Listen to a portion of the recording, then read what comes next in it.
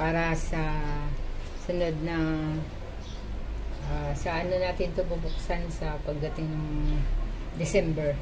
Umpisa na tayo mag-ipon, maglagay tayo ng 20 para doon sa sa kangkong at saka sa sa luyot na na-harvest natin bilang tig 10 yun. Makasave na tayo ng 20. Yan nilagay. Ihulog na natin dito. Tapos bubuksan natin to pagdating ng December. Okay. Tingnan natin kung magkano maipon natin sa loob ng ano, mga 10 buwan. Loob ng 10 buwan kung magkano mailagay natin dito. Okay, yes. Ito na po ang binili ko sa online. Ito yung pangalawang item na nabili ko sa online. Gamit yung pera na naipon ko sa hindi ko pagbili sa palengke ng mga talbos ng kamote, kangkong, saluyot, at yung kahit ano diyang tanim ko nga nasa gilid lang ng bahay namin, yung maliit naming garden. Maano ito, gamit ito sa ano, sa kusina. Oh, ayos ang pagkaano nila, pagkabalot ah. Dapat lang naman talaga ganito. Kasi pag hindi to inayos, malamang basag ito. Yun na pala, yung update ko pala sa ano, sa ampalaya kong kala ko eh patay na. Mamamatay na yung ampalaya.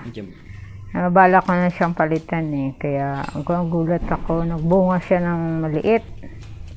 Tapos ginawa ko, binalutan ko siya ng plastic. Lumaki siya ng husto, makikita niyo yun sa huling video dito. Papakita ko yung update sa ampalaya na akala ko wala, wala nang ano, hindi na magbubunga. Pero marami-rami na rin ako doon ano, nakuhang bunga. Ayos ang pagkabalot ah.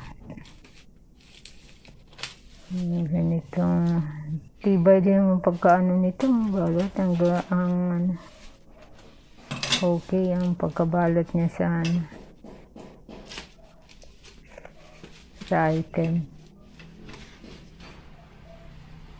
Yung pala tungkol doon sa ampalaya, ah, no, matagal na yun, mga 2 months na yata mahigit yun, o 3 months. Pinabayaan ko lang siya, nayaan ko lang siya matuyo. Nagulat ako, mga nakaraang linggo, nagbu, nagano siya, namulaklak. At saka, nagbunga. Yung bunga maliit, laga-lagaan ko hanggang sa medyo lumaki-laki. Lagyan ko ng plastic. Alam, nagulat ako, lumaki na pala. Hindi ko napansin. Makikita niyo yun dito. Maya maya lang. May balot pa siyang plastic. Nga. Aba, saradong sarado talaga.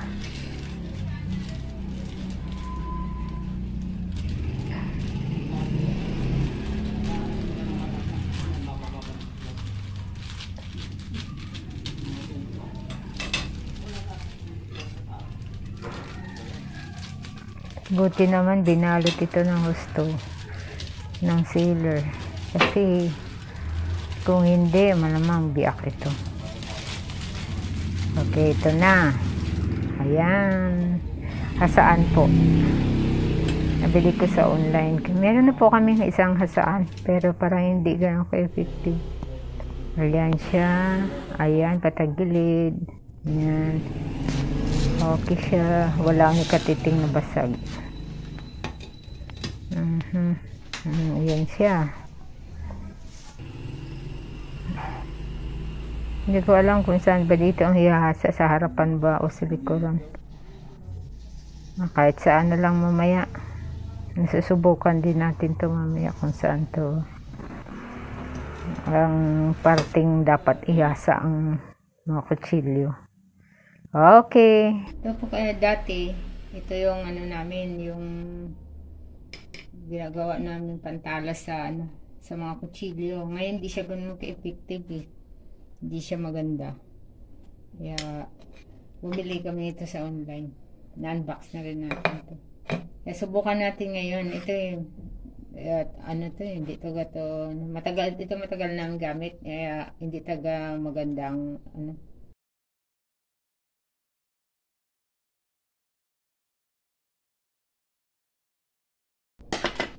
Subukan natin ngayon. Um, ano natin, patalimin natin kutsilyo gamit yung binili natin. Basahin muna natin siya. Natin.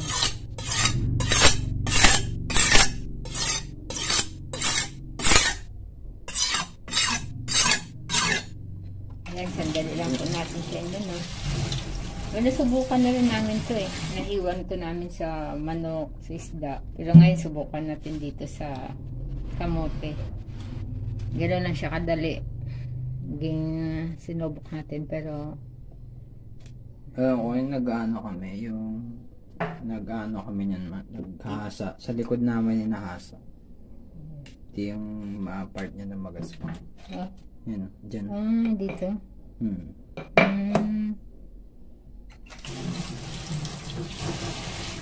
Ito, subukan natin.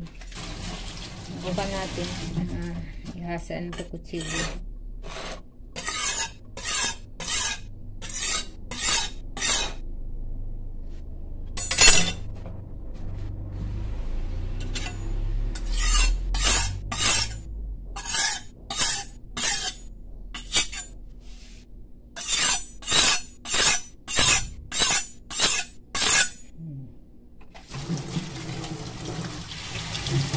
Ayan, subukan natin kung matalim na. Yan. Yan. Okay na po siya. Matalim na yung ano, kutsilyo.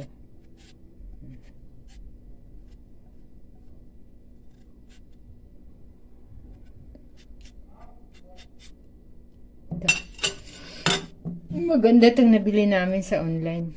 Isa ito sa nabili natin dahil sa natipid natin doon sa hindi natin pagbili na ng gulay sa palengke. Ito yan. Okay.